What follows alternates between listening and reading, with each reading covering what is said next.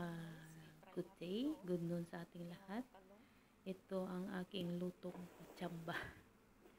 I-try natin guys yung nag-ihaw ako ng dalawang talong na malalaki para masarap. Masarap ang malaki.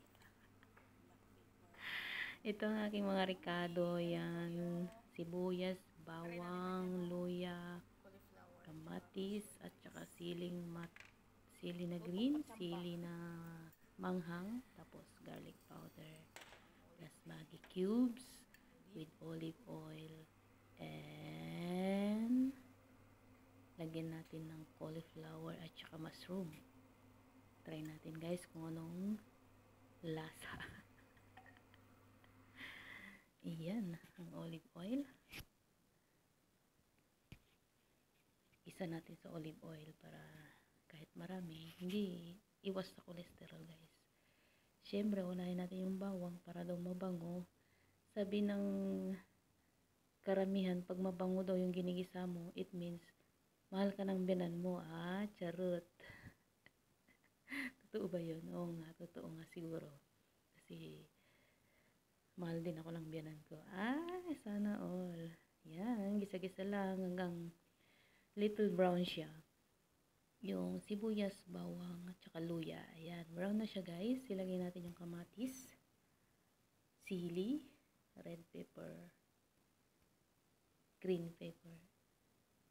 Makulay ang gulay dito sa bansang Kuwait. Kapag luto na yung patsamba kasi habang tulog yung madam kaya tsamba-tsamba lang. Takas-takas lang pag may time. Yan. Talong na inihaw, 'di ba? Ang lalaki. Maliit ay mataba na pandak ang talong dito sa Middle East. Karamihan guys, ganyan. Mataba na pandak ang talong. Uy, pero masarap ang ano, ang talong dito hindi ano, hindi siya matigas. Ayan, lagay natin yung cauliflower. Pwede na siya with the mushroom, guys. Tapos, lagay natin ng mga paminta, garlic powder, para pampalasa, Maggi cubes, then Maggi sabor. Tapos lagyan na natin ng toyo. Konting toyo para iwas tayo sa mga iwas sa matoyo. Hindi, konti lang guys kasi maalat. Ayan, o diba, makulay na siya. Yan. Luto natin ng for 5 minutes. Makulay ang buhay sa kulay. Shoutout sa inyong lahat guys. Salamat sa inyong walang sawang nagsusupport chan. Thank you for always watching and supporting.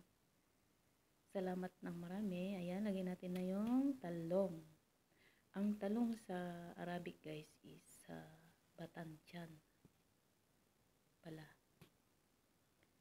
Eggplant, talong in Arabic is batanchan. Yan halo-halo natin para ang lasa ay mag-spread. Dahan-dahan lang para hindi siya madurog. Ano kayang lasa nito? Lasang patsamba guys. Naisip ko lang yan kaya ewan ko anong lasa niya. Siyempre, lasang patsamba. Hindi, basta gulay okay lang kahit basta meron tayong ano, ricado okay na o, oh, diba? Yan na siya. Masarap na siya, ayan. Pwede na nating ulamin. This is our lunch for today. Thank you so much guys for always watching and supporting. God bless us all. I love you all.